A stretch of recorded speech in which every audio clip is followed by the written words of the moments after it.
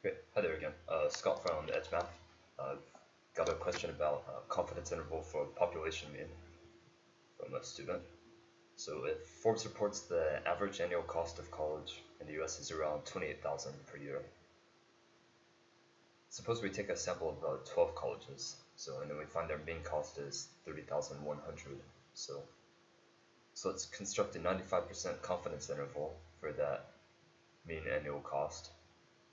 And we can assume the overall standard deviation is 2000. And then we can test whether the Forbes reported annual cost is accurate. So, so we're constructing that confidence interval around that mean cost.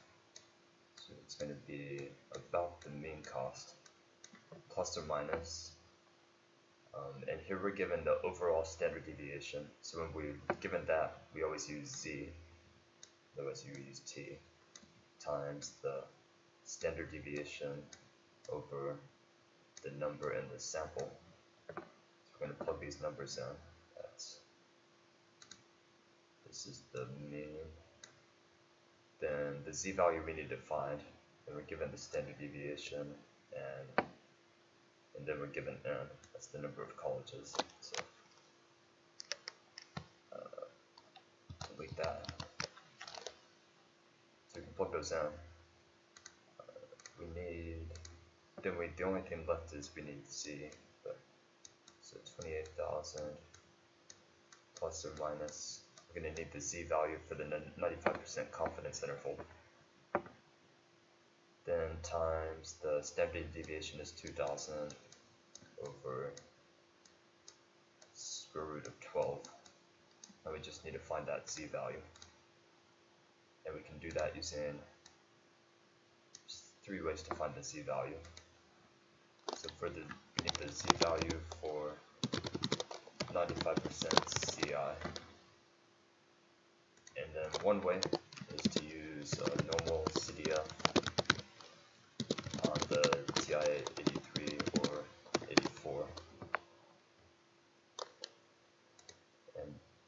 Another way is to use uh, the z-table or the normal distribution table or you can use an online calculator and I use the one at Stat Trek. So, but we've got this 95% confidence interval, so that's going to look like so 95% confidence interval. So we've got this mean and then a 95% range around it. So we we think this is the mean, but we've got, um, we're going to allow some leeway around it. So we want a range that's large enough to give 95% confidence that the true mean is within that. So, so this is, got a 95% range here.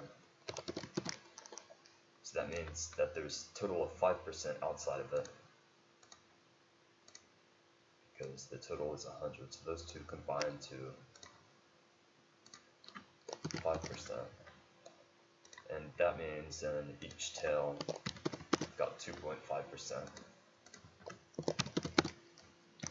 I'll show you why we need this, uh, because we're gonna we're looking for the we're gonna use the p-value, the cumulative probability to find the z-value. But the p-value includes what our z value is. And the p-value includes everything to the left of that. So it includes the 95% confidence interval as well as the 2.5% left tail. So we get p equals 0. Point, or 95% plus 2.5%. That's 0.975 as a decimal, or 97.5%.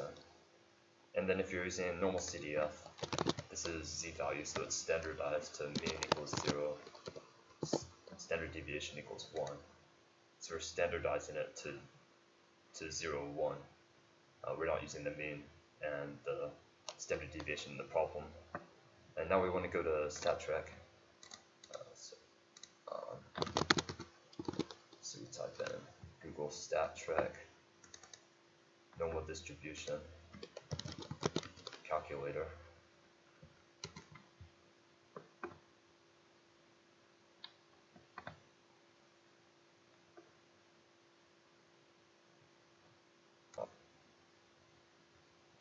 Good, so we've got our normal distribution calculator and we're looking for the z value. We've got our cumulative probability, that was 0.975 and we're looking for the z value so we leave that blank. And we calculate and get z equals 1.96 so that's 1.96 and that's a common you might almost memorize that because that's a common for the 95% confidence interval we need that. So we want to calculate 28,000 plus or minus 1.96 times 2,000 over square root of 12 let me pop this in the calculator. So pop this in the calculator and got uh, 1131.606. So so 28,000 plus or minus 1131 1131.6 so that means the confidence interval is it's going to be 28,000 minus 1131.6 to 28,000 plus 1131.6 and we're testing whether let's see we're, show, we're told that the reported uh, the mean cost of this sample is 30,100 and this upper limit is this upper limit is like 29,131.6 and then the lower limit doesn't matter since this is above it, but um, but we've got 30,000. The sample is population is 30,100, and that's is outside of the 95% CI. So we can conclude just based on this sample that's quite quite unlikely to get a sample of 12 that has a, a mean that high. So we conclude that the Forbes reported uh, cost is wrong given this sample. So hope that makes sense. Uh, let me know if you have any questions and hope you have a great day.